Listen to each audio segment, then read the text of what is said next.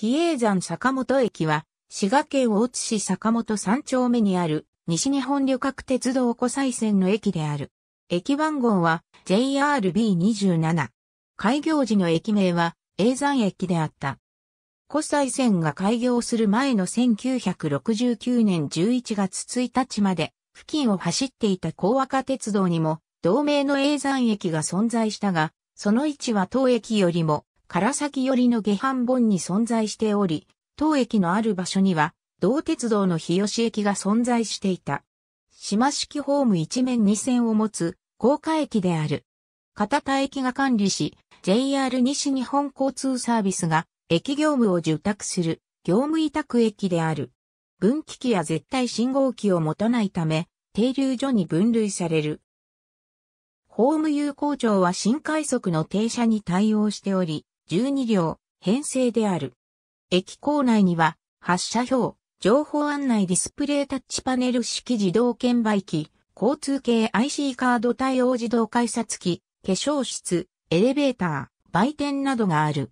改札口は地上に1箇所ある。改札口からホームへは、エレベーターと階段がそれぞれ1本通じている。ホーム上に待合室が1箇所設置されている。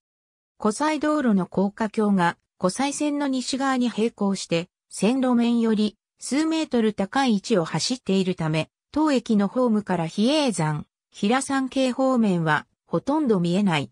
日中時間帯は1時間あたり4本が停車する。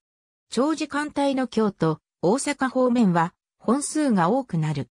また、2016年3月25日までは観光船電車が入線しており、朝には西明石行き、夜には西明石、新三田発、大見舞子行きの設定があった。